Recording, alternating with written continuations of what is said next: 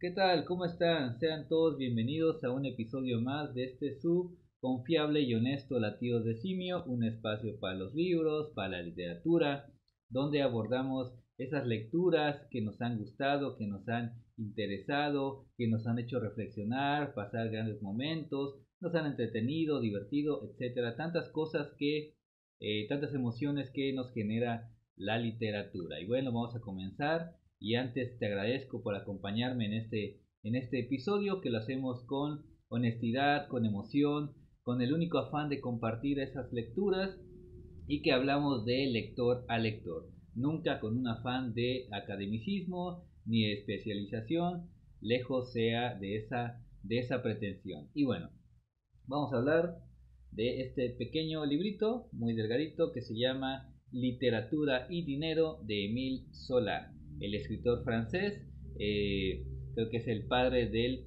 naturalismo. Bueno, un texto muy muy breve, que son prácticamente 70 páginas, editado por el Fondo de Cultura Económica en la colección, en la colección popular.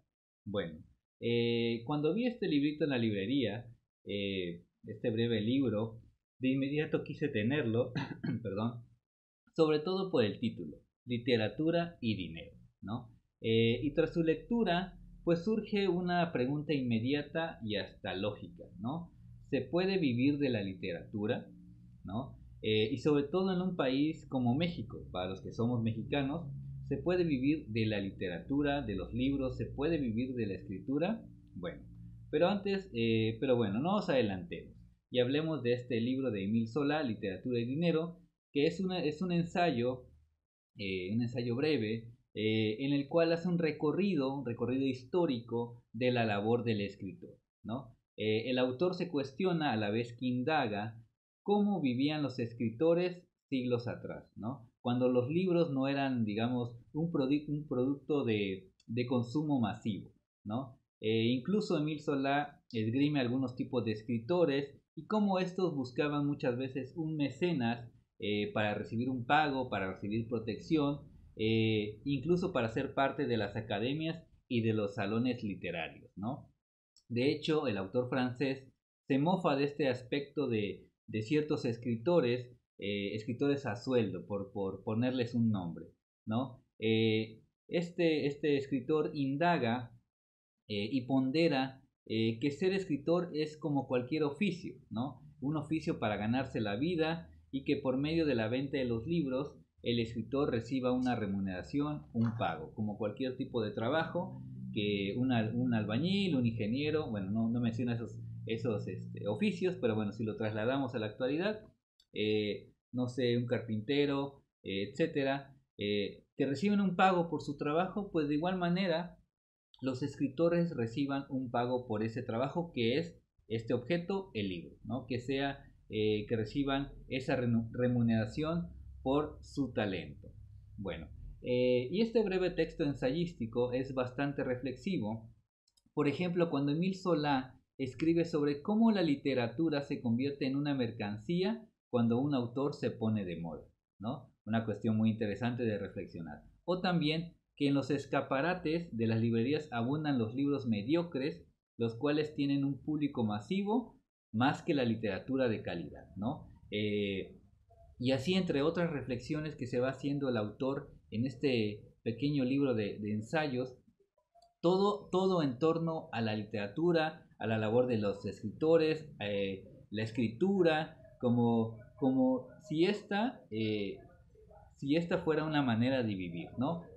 también está la idea romántica, obviamente, de que, bueno, yo solo escribo porque soy un artista, etcétera, etcétera. Bueno, esa ya es otra, es otra cuestión. Bueno, aquí hago un pequeño paréntesis en lo que pasa la publicidad allá afuera. Bueno, continuamos.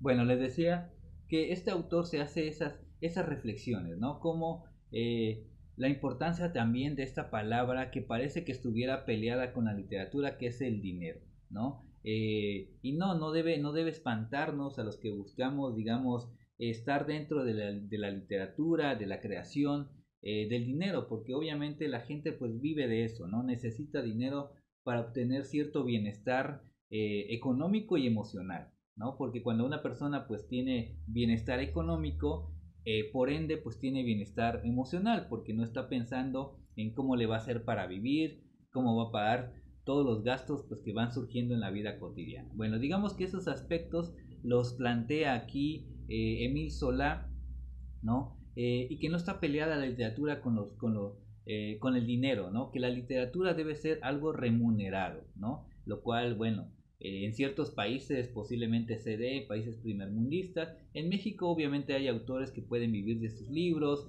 de hacer conferencias, de dar clases, etc. Pero bueno, creo que son contados los escritores desde mi, mi poco conocimiento que viven realmente de los libros.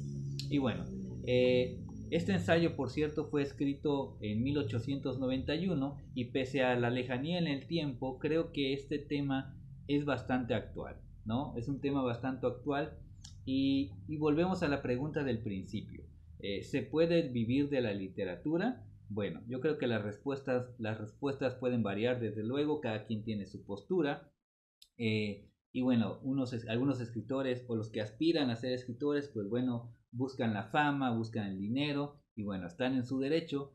Pero yo recuerdo eh, o tengo muy presente la frase, una frase que voy a parafrasear de Roberto Bolaño, es que si buscas la fama por medio de la literatura, digamos que erraste el camino. Es decir, creo yo que te, equivocaste de camino, te equivocaste de profesión, de oficio, ¿no? El fin último de la literatura no es, no es la fama, no es obtener dinero, sino es la literatura y la creación misma. Bueno, esta es, es mi, perspectiva.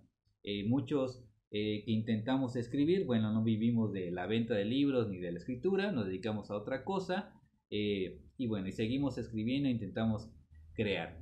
Y bueno, y también recuerdo las palabras del breve libro de Rilke, quien decía que aunque nadie te lea, tú sigues escribiendo. Y si, y si, y si, ya, te, y si ya te leen, perdón, y si ya te leen, sigue escribiendo, ¿no? Es decir, no dejes de escribir. Eh, aunque lo más importante, decía el propio Bolaño, lo más importante es leer.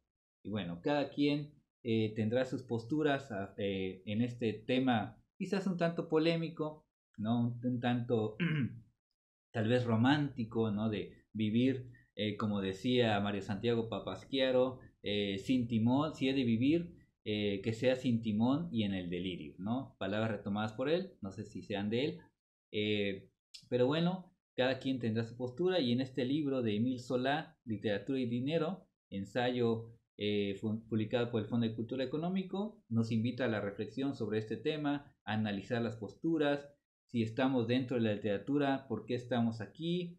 Eh, bueno, cada quien tendrá sus propias conjeturas, sus propias reflexiones. Y quizá ya para terminar este video, ya como reflexión muy personal, quizás eh, no se puede vivir de la escritura, pero sí vivir escribiendo, ¿no? Quizás no se puede vivir de la escritura, pero sí vivir escribiendo. Y bueno, es lo que, lo que hacemos aquí, como el hecho de compartir los libros que nos gustan sin esperar nunca, nunca ha sido la intención la remuneración eh, de ningún tipo, simplemente la, la intención y la satisfacción de compartir y de hablar de libros, de literatura, porque si no creo que carecería de emoción, lo digo desde, desde mi postura, carecería de emoción si yo lo hiciera para obtener una remuneración económica, ¿no? Porque yo lo disfruto, disfruto los libros y disfruto la literatura por el hecho mismo de leer, por lo que son, por esa obra de arte a través de las palabras, el pensamiento, la creatividad y la imaginación. Y bueno, ahora sí ya no me extiendo más. De verdad, lean este libro, les va a interesar, los va a hacer reflexionar. Literatura, literatura y dinero de Emil Sola. Los invito también a nuestros blogs que nos lean eh, los voy a dejar aquí eh, abajo en la descripción. Blogs eh, simio.blogspot.com, la de música de simios. Síguenos en Instagram, en Facebook, búscanos así como Latidos de Simio, así aparecemos. Y bueno, gracias a todos los que están suscritos a este canal, eh, a quienes nos comparten, a quienes tal vez en alguna que otra ocasión nos comentan. bueno, lo agradezco infinitamente y aquí seguimos con muchos o pocos suscriptores con muchas o pocas vistas de los videos. Como les repito, yo lo hago por emoción y porque me gusta hablar de, este, de esta maravillosa creación humana que son los libros. Hasta la próxima y felices lecturas.